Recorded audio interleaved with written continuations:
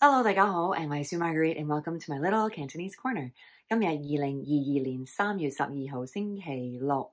Today is Saturday, the 12th of March, 2022, and I'm so happy to be here. It's been a really long time before I've been able to sit down and do a video for Cantonese Corner without literally crying because, as you know, I've been back in the US permanently. I want to say semi permanently because I never like to say the door is completely closed, but I did leave Hong Kong in uh, June last year.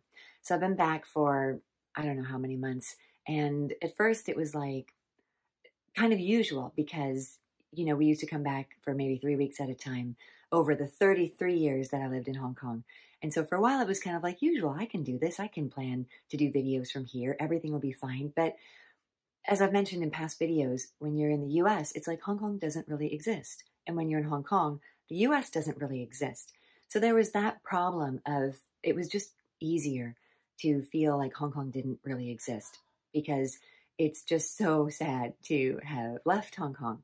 And uh, so I thought today I would do just a really quick video to say I'm back, maybe. I'm hoping now to really be a lot more active.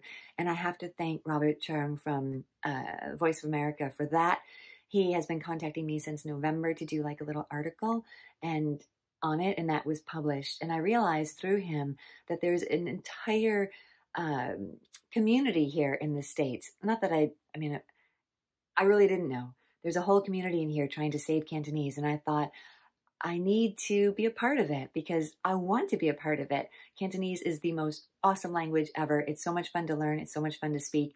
And I've really been working hard. Another big shout out to a student of mine um, over in Cantolingo that really wanted to learn characters. And for the first time, I was like, I can do this. I can teach characters the way I learned them with a program that's just fantabulous. And so I'm working on putting that character course together um, for you all, um, especially those who uh, know Cantonese but don't know the characters. It's a brilliant course, so I'm getting that ready. Um, so anyway, I thought today I would just do a little video about why I left Hong Kong. So the number one reason why I left Hong Kong uh, is because it was time. It just seemed time to leave and try to expand elsewhere. It was just a feeling that I had that I was a guest and it was time for me to leave. And family played a big role in that because my parents here in the US are getting older. Um, the, my kids were in the US studying and then now working. And I just felt that it was a good time to leave.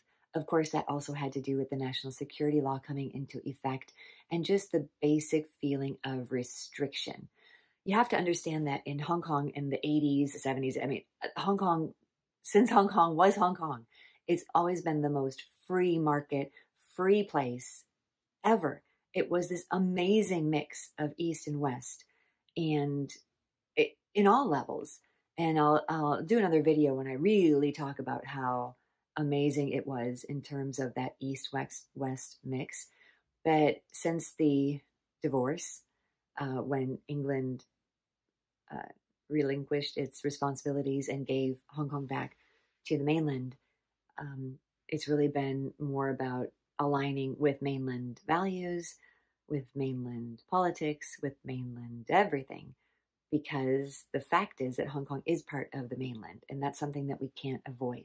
So you'll never really hear me say anything bad about it because I really believe in just, as most Hong Kong people do, it is the practicality of Hong Kong that is something that is really amazing in my mind. It's just like you look at the situation, you see the situation for what it is, and you make a decision accordingly.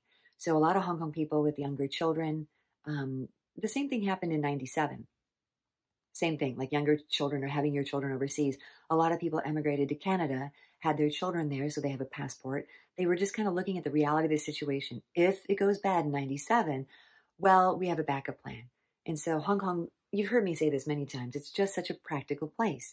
And so with that same mindset, looking at it like the practical, where the direction Hong Kong is heading, uh, there was a lot of hope back in 1997, right, during the handover, for hope for how things would be different, how China would potentially accept Hong Kong for the Hong Kong that it was, and and they would complement each other in a way, the way that Hong Kong had complemented the Chinese community and the British community, the UK and the the world community had had come to this amazing East meets West kind of dynamic in Hong Kong. There was kind of that hope uh, that that same thing would happen with the mainland, that you would have this kind of new dynamic and it would be even better. I mean, that was the hope in 2000, 1997 and for a few years after that.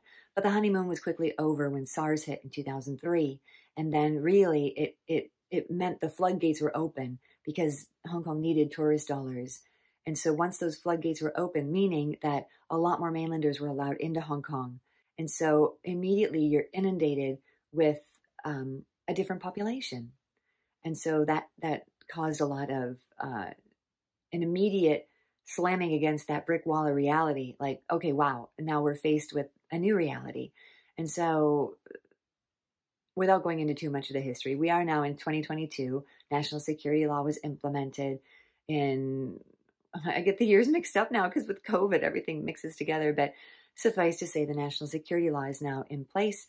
And it just became very apparent and evident that it's not a place where I felt free um, in the sense of not in the sense of not having to worry about what you're saying, about what you're speaking, about where you're going, about what you're wearing, about what, you know, all this kind of thing. All these, um, I guess you could call them self censorship or silent restrictions coming into play um, is just not, um, it's just not what I wanted if I had a choice. So, family first, of course. But the second thing was just realizing that maybe it's not really what I wanted. And also, too, you have to understand that Hong Kong is Hong Kong Island. It's got the peninsula and then the outlying uh, islands, new territories, all that kind of stuff. But there's one way, okay, there's two, but really, for realistic purposes, for the average person living in Hong Kong, there is one way in and out of Hong Kong, and that is by plane. So right now, they, you know, in the years past, they started restricting flights to the U.S flights to the UK, flights everywhere. You couldn't really get anywhere. And that honestly kind of freaked me out because I'm like, I've always felt that. So you have to understand my personality. When I go to a restaurant, the first thing I do, especially in Hong Kong, because some of the restaurants are on upper floors and you take an elevator up to like the 10th floor and then you go to a hot pot restaurant with open flame. And so the first thing I think of is where's the exit and how am I going to get out of here if something happens? Not just me, but everybody. Um, and so that's something that is really important to me is that kind of freedom of movement. In fact, another little sideline here is I moved to Discovery Bay in 1990, my goodness, 1989. I think when I first arrived in 88, and by 89, I was, um, I decided to room with some friends that had moved to Discovery Bay. Well, Discovery Bay back in those days was nothing. It was literally nothing. It was the ferry to Discovery Bay, and you had, we lived in I want to say it was Wood Green Court. It was one of the high rises up on the hill a little bit. Um, and that was in, I, I believe it was 89. It must have been 1989 or the end of 88, but I'm pretty sure it was 89. Anyway, so you took the ferry out there, and the ferries did not run 24 7. Um, they didn't run even past like, I think 10 at night. And you'd get there, and it was pitch dark. There was nothing there except your bus that would take you from the ferry pier up to where you lived. And so that to me was like, oh my goodness, there's one way in, one way out, and that was the ferry, unless you're going to swim or there's, it's, um, at least on Lamma, you've got the option of sampans and different things that you can, you can take to the village, to the, to Lamma Island. But so anyway, that's just all an aside to say that to me, it's really important to be able to move and to go different places. And, um, that stopped. I mean, flights were stopped and it, it just became very evident that Hong Kong is not a place I wanted to be stuck in because of a lot of different reasons. This is not as much, but the reliance on water from China, um, the reliance on China for pretty much a lot of things in Hong Kong. So anyway, that was um, that's another reason why I wanted to to to go was re- recognizing the practical nature of leaving Hong Kong, um, which was, you know, even now I've got friends that want to leave, and it's it's extremely difficult people that want to leave. So that was really a huge, huge reason for me was that writing was on the wall. Um, there's so many reasons not to have left, and I struggle with those every day and hope that I would go back there. But to live there full time again, I just don't know because it is an expensive place to live. And if you don't have a means of uh, supporting yourself in Hong Kong, it's very, it's very difficult. It still is very difficult. Uh, so that's another reason. Um, but you know, it's just, it's just, really sad, you know, to have, yeah, see pictures. Like I said, it's like somewhere in time, you know, I'll open a drawer and see some money or um, pictures and stuff. And it's just like, I just miss so much about it. Um, the food, the people, the language, the the convenience, the technology, the um, everything, everything about Hong Kong, except the fact that you feel very restricted now and you feel um, like you can't leave. And so that's really the main reason why I chose to leave is because I, I could and I didn't want to get to a place where I couldn't. So that's about it. Um, I am so grateful to have this channel and this following, and to even have people that are interested in talking to me or about me and what uh, experiences I've had in Hong Kong. I will do another video about these experiences that I've had uh, over the years because there's, especially working for the organization I worked for.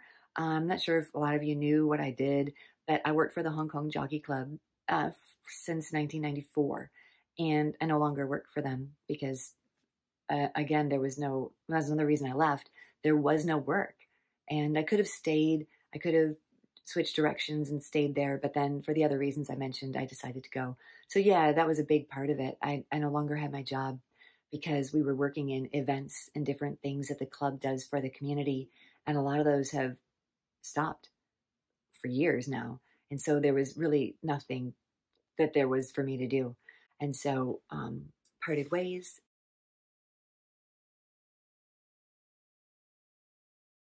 But I bring that up because the Hong Kong Jockey Club is so integral to Hong Kong. And so I feel very fortunate and blessed to have had, to have worked at that organization that was so integral to Hong Kong society over the years. So I've had a really interesting uh, look at Hong Kong from that perspective. Not only living local, I was never an expat in Hong Kong, but um, living local, working for the organization that I did, speaking the language, um, reading and writing. Well, not so great at writing. I can, but I don't really write that much. So reading and speaking um, the language, and really wanting to be a part from here or from wherever I are, if I wherever I am, if I do choose to go back to Hong Kong or live live somewhere else. Um, I definitely know that I want to be connected with the Cantonese community. So thank you guys so much out there. I look forward to collaborating with people and just um, just doing what I can to help quote unquote save Cantonese. Check that out, savecantonese.org. Um, and being more a part of the community. Thank you so much. And I will uh, see you again here. I'm going to be doing more videos as mentioned, and I'll be doing some more videos as well on teaching. And I'm revamping my courses to go on a new platform, as I mentioned in my community um, community tab there. So a lot of exciting things happening, and I'm just so very grateful. So thank you guys so much, and I'll see you again next time here on my little Cantonese corner. Bye.